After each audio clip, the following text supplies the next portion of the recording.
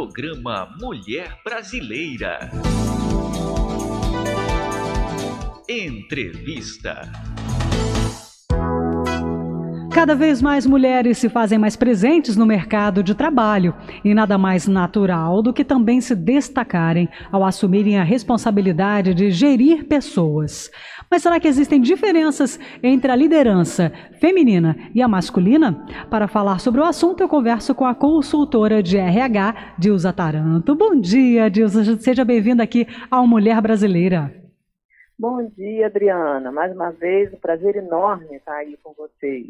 Obrigada por separar aí um tempinho da sua manhã para conversar com a gente. Ainda mais um tema tão legal, né, Dilza? Muito legal. Esse tema é é, é, palpitante, né? É. Bem legal. Então, é óbvio, né? Até pela estrutura da nossa sociedade, é muito comum as empresas serem lideradas por homens, mas cada vez mais mulheres têm assumido esses papéis de liderança. Tem empresas que estão até incentivando né, as mulheres a, a chegarem à gerência, a, a, cargos maiores, por incentivo mesmo das empresas para as mulheres é, se, se candidatarem a esse papel também.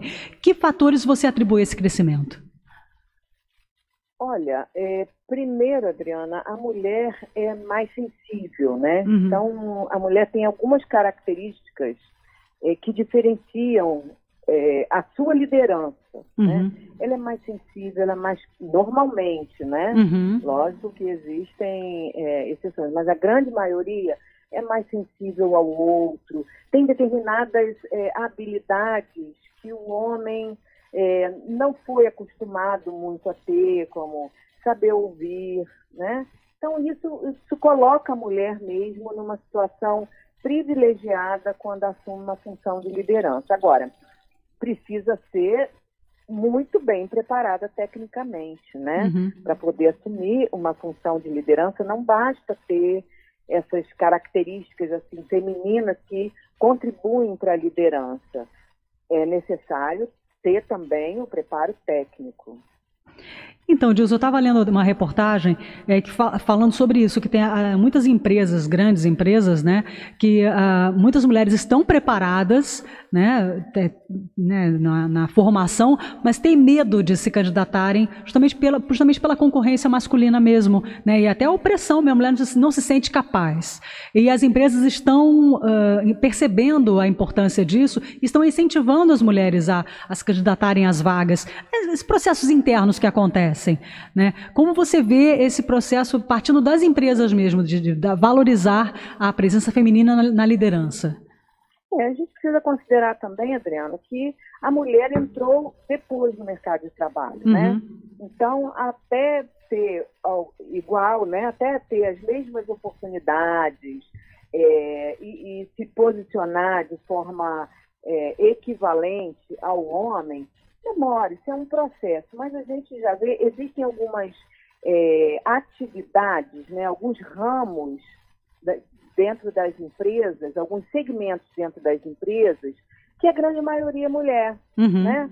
A, a, comunicação corporativa, por exemplo, é, a comunicação corporativa, a grande maioria, 69% dos cargos de liderança são, é de mulher, é ocupado por mulheres. Uhum. Né?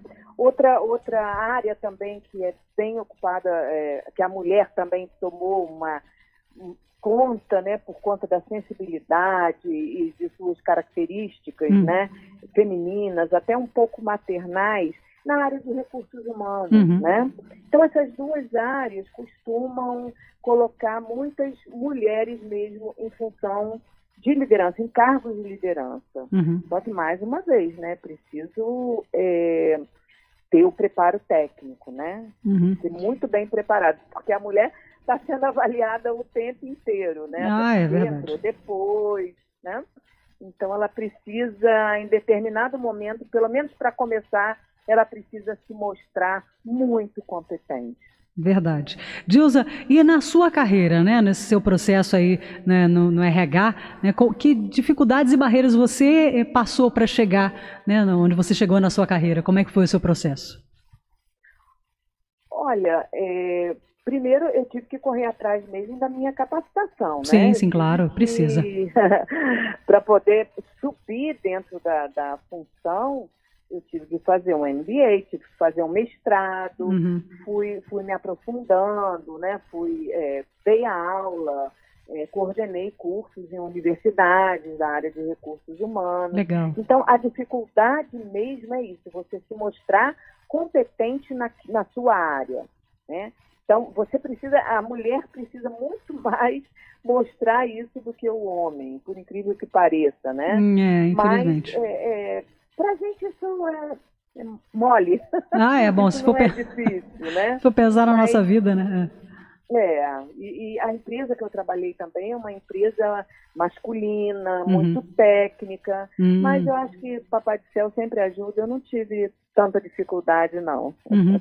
E as mulheres, quando elas chegam nesses postos de comando, o eh, que, que, que, que, a empresa geralmente percebe, né, que mudanças e benefícios acontecem na, na empresa, né? Existe diferença mesmo na liderança uma, das mulheres? Existe. Quando a mulher não tenta se igualar ao homem, porque existe isso também, né? Uhum. A mulher, quando assume a função de liderança, ela começa a ter determinadas características ma masculinas. Uhum. Então, isso aí, é, é, ela perde nisso. Uhum. Porque justamente o diferencial são as características femininas do, do ouvir, do cuidar, do se preocupar com, com as pessoas, né? Que isso é muito importante para qualquer líder. Né? Se preocupar uhum. com as pessoas, inspirar as pessoas, levar as pessoas a fazerem, a, é, a terem melhores resultados, né? ao engajamento, ao comprometimento. A mulher é mais sensível a isso. Uhum. Então, é, é justamente ela peca quando começa a querer assumir algumas funções, algumas, é, alguns comportamentos eminentemente masculinos, né? Uhum. É, o que eu vejo às vezes, Dilza, é que às vezes a mulher até, uh, dependendo da situação, claro, né? Claro, cada caso é um caso, é que a mulher até precisa mesmo ser mais, é, digamos, é, enfática, mais, mais brava ou séria, digamos assim, séria, né? Porque justamente pela cobrança das pessoas, que às vezes, os, ainda mais se a equipe é a maioria masculina, não, não tem um respeito, tem, não, não leva às vezes a mulher a sério quando ela chega a um cargo de liderança. Às vezes eu até percebo que uh, a mulher acaba reagindo desta forma para impor respeito, né? que infelizmente as pessoas não conseguem entender que profissionalismo não depende de sexo, né? não depende de ser homem ou mulher. Quem é profissional é profissional. Né? Tem que ser profissional Sim. e qualificado para estar naquele cargo.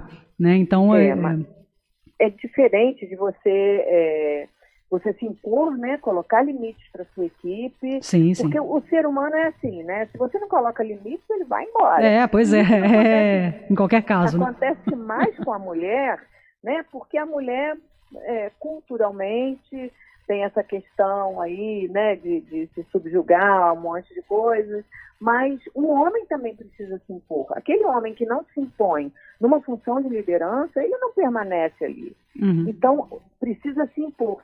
As coisas são diferentes, né? Sim, Colocar sim. um limite claro para a equipe, de maneira séria, não quer dizer que ela não possa brincar, pode, né? Mas o limite é o respeito, né? Sim. Então, quando perde o respeito, o seu direito vai até aonde começa o direito do outro. Sem né? dúvida. Então, é, é essa questão de colocar o limite para a equipe, mas não perder essas características femininas uhum. de, de, ouvir, de agregar. Né? A mulher é muito agregadora. É verdade. Isso é importante para a formação de times. Isso é muito importante. Pois é. Pra, é estabelecer objetivos comuns, né, engajar as pessoas nesse objetivo e ter melhores resultados para a organização. É, essa é a diferença de quando você tem um chefe e quando você tem um líder, né? Quem, o líder é aquele que agrega, né, que dá, que leva as pessoas para um objetivo comum da empresa, do sucesso da empresa, que como eu sempre falo também, né, o Dilza, todo mundo está no mesmo barco, né, mesmo barco, então todo mundo tem que remar na mesma direção. Se um rema na direção contrária, o barco começa a girar, né? Aí não adianta nada,